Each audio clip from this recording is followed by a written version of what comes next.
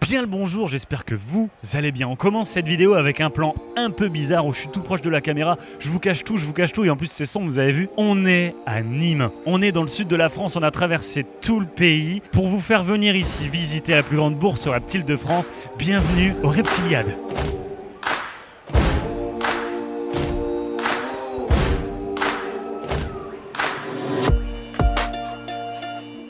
Bien le bonjour, j'espère que vous allez bien. Bienvenue dans ce premier épisode des Reptiliades 2023. Un salon orienté terrario reptile extraordinaire qui a accueilli plus de 10 000 personnes et qui s'est déroulé à Nîmes en septembre 2023. Et alors cette année c'était extraordinaire, c'était les 25 ans des Reptiliades. Cette semaine, chaque jour vous aurez une vidéo sur les Reptiliades 2023. Dedans, on vous présentera l'énorme quantité d'intervenants et d'interviews qu'on a pu y faire. Un énorme merci au staff des Reptiliades, à savoir Charlotte et Steve, de nous avoir invités à venir tourner là-bas. Ça a été un sacré voyage pour nous. Les Reptiliades 2023, épisode 1, c'est parti.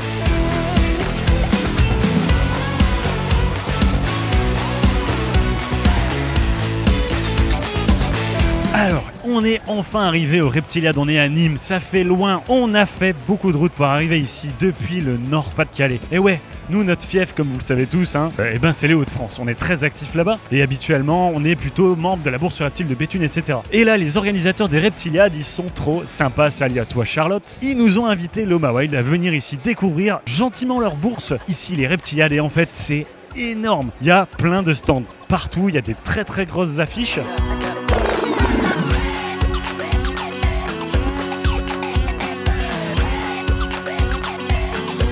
C'était vraiment un salon de dingue. On peut dire vraiment que c'est le salon du reptile. En tout cas en ce qui concerne la France. Il y avait un monde fou. Avant l'ouverture, la porte était fermée et on pouvait y observer une queue, une farandole extraordinaire de gens qui attendaient pour rentrer dans les reptiliades. En fait, ça s'est déroulé dans une énorme salle, un complexe. Et pour l'édition 2023, ils ont eu accès pour la première fois à toute la salle, ce qui faisait une surface, je sais plus exactement combien, mais plusieurs milliers de mètres carrés, un truc considérable.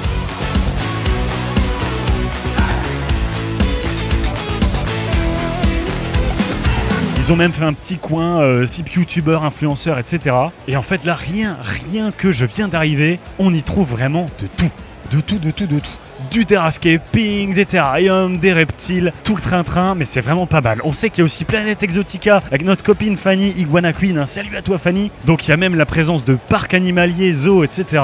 C'est vraiment du costaud. Mais alors il y a du monde, il y a du monde. Alors bien sûr, je me sens un petit peu comme un étranger ici, moi. J'ai fait de la route, je connais pas beaucoup le monde. Mais bon, on va faire avec. Et pourquoi on peut dire que c'est vraiment un salon? Bah en fait, il y a des expositions de dingue. Il y a des voitures Jurassic Park, il y a des espèces de camions d'aventuriers dans des jungles. On y retrouve bien sûr des vendeurs de reptiles Reptilis, la ferme tropicale, Baxi Reptile et plein d'autres. Il y avait aussi des créateurs de contenu, des influenceurs, même une zone dédiée à l'accueil des abonnés pour rencontrer la créateur de contenu. On y a eu d'ailleurs notre session. J'arrive dans le sud, je suis loin de chez moi, je connais personne. Et ben il y a des gens comme toi qui viennent me dire bonjour parce que tu m'as vu passer sur internet. Exactement. Et parce que je suis un grand fan et c'est trop cool de te rencontrer. Donc ouais, c'est c'est génial. Ça fait Et puis moi aussi je viens de loin, donc ouais, c'est trop cool de venir ici. Tu viens d'où, toi. D'Angers moi. Angers, Je fais mes études là-bas. Et, euh, et grand fan de reptiles, donc je viens voir un peu. En plus, je suis de l'organisation. Donc, Tu fais de euh, l'organisation Je suis euh, bénévole avec. euh, c'est Charlotte qui m'a. D'accord, t'es bénévole sur les reptiliades en fait. Exactement, bénévole sur les reptiliades. Eh, c'est une Et sacrée puis, bourse, hein. c'est la première fois que je viens, vous m'avez invité du coup. Vous avez fait a un coin. euh, 4800 mètres carrés. 4800 mètres carrés. 4800 mètres carrés, c'est la première fois que c'est aussi grand. C'est quasiment le double de l'année dernière. D'accord. Et euh, Ah, parce que c'est les costaud. 25 ans des reptiliades. hein. Ah, bah je savais pas que c'était les Et 25 donc ans ouais, des reptiliades. c'est trop bien, c'est énorme. Et comment tu trouves les cheveux de notre cadreur Ben? Franchement, ils sont euh, assez beaux, rasés de près, comme on dit. Ouais, c'est ça. Et alors toi, t'es terrariophile euh, ouais, à fond. Alors qu'est-ce que Euh, tu fais? J'ai eu beaucoup de reptiles à la maison depuis Ouais. euh, mes, je sais pas, 10 ans. J'ai acheté un petit reptile à la ferme tropicale, un petit, euh, une petite butée à la ferme tropicale, il y a longtemps. Ok. Et j'ai aujourd'hui plus que deux acanthurus et un petit Bradley. Maison. D'accord. Euh, Varanus acanthurus et. Alors là, on a Toupette, on a Iguana Queen, on a Venom X. Il y avait aussi pas mal d'entomos et de ventes d'insectes et même de- d'insectes naturalisés. Alors ça, c'est trop chouette. On retrouve Jessica de Terrapodia, trop cool. Et alors, très important, très important pour la terrario française, on y a retrouvé des acteurs un peu plus politiques et associatifs. Évidemment, Pro Natura, Unicab. Il y avait le centre de formation de Charlotte Hubler, qui d'ailleurs a fait pas mal de conférences pendant ces deux jours de Reptiliade. Bref, bref, bref, vous allez avoir tout le reste de la semaine pour voir ça. Bon, et petite question au passage, comment se passe ta bourse? Très bien, j'ai mon collègue qui fait le pitre derrière, mais Ouais, à part je l'ai ça, vu, je l'ai vu. ils essayent tous de me faire rigoler. Bah, c'est une belle surprise. Une Ouais belle surprise, il y a du monde, c'est bien organisé, c'est sympa. Eh ben écoute, ça se passe bien. Voilà, nous l'idée c'est de se faire découvrir. très fatigant. Sportif. On a fait beaucoup beaucoup de clients. ouais. Super bien, super Intense, mais Ouais. super cool. Beaucoup d'engouement euh, pour. euh, je trouve qu'il y a de plus en plus d'engouement pour la Terrario. Ah, c'était fantastique. Il y a une ambiance de folie dans ce salon. Ah Euh, ouais il est magnifique. Gros kiff, euh, très beau salon, belle organisation, il y a de l'espace pour circuler, à la fois il y a beaucoup de monde. Donc euh, franchement, euh, j'ai envie de dire, euh, Ça se passe très très bien. Très bien. Je tenais à dire quelque chose, c'est un immense merci. Alors je dis merci à, à tous les organisateurs, hein, mais en particulier à toi, puisque Charlotte, tu nous as invités, nous, Loma Wild, à venir Oui. ici au Reptiliad. Un immense merci, on est hyper content d'être là. Euh, c'est une bourse assez impressionnante, hein, franchement. Il y a plein de grosses têtes d'affiches, il y a plein de. Et en même temps, il y a aussi beaucoup de petits terrariophiles. Euh, il y a tout le monde, quoi. C'est ça que j'aime bien. Racontez-nous, qu'est-ce que vous faites? Alors, on fait les 25 ans des, des Reptiliades cette année. C'est une marche supplémentaire. Le but, c'était d'augmenter un petit peu la, la taille du salon et euh, que ça devienne vraiment un point de rendez-vous au niveau, euh, au niveau de la terrarie.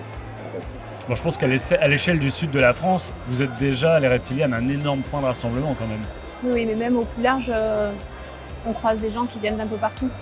Donc Ouais. euh, là, euh, il y a des gens qui viennent de Bretagne, des gens qui viennent de Corse. Alors, Euh, ben, le, point, le point de départ, c'est la, la chronologie. Quand on est déjà sur un événement là actuellement, nous, on est déjà sur l'édition de l'année suivante.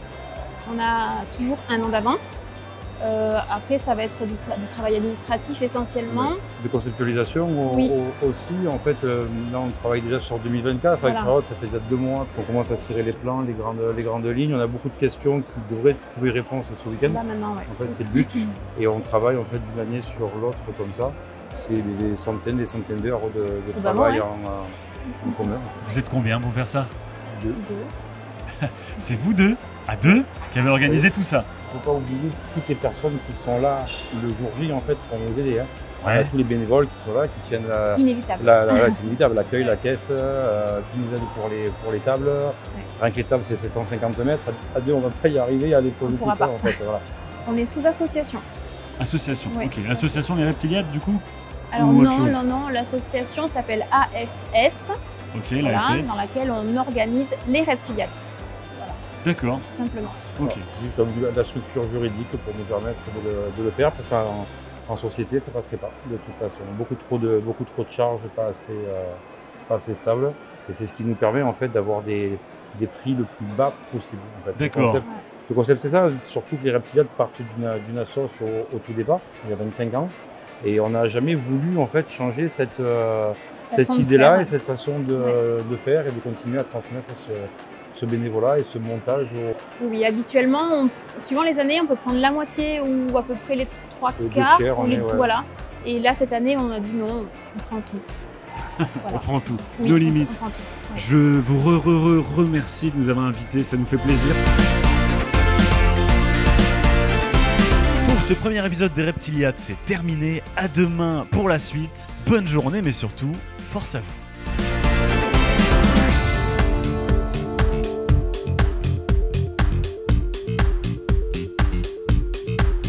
Alors, monsieur le petit T-Rex, comment ça va aujourd'hui?